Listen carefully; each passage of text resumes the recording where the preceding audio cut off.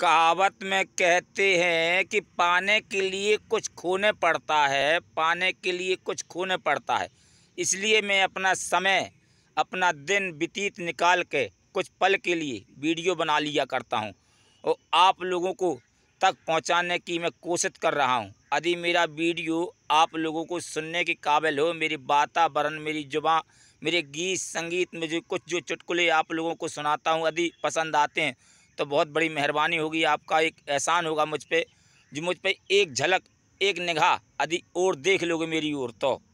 क्योंकि मैं आप लोगों के लिए मन बहलाने की कोशिश कर रहा हूँ, आप लोगों को गीत, संगीत जो बनते हैं, छोटे मोटे टूटे फूटे, सो आप लोगों को सुनाऊँगा, वो आपको मन बहलाऊँगा, वो चुटकुले बेधक मन से निकाल के सुनाऊँगा। इसलिए मेरा नाम मूलचंद है, मैं श्यावरी कोटरा, मऊरानीपुर जिला झांसी का रहने वाला हूँ। यदि मेरी ओर एक निगाह डालोगे तो बहुत बड़ी मेहरबानी होगी। जय हिंद, जय भारत, ओम शांति।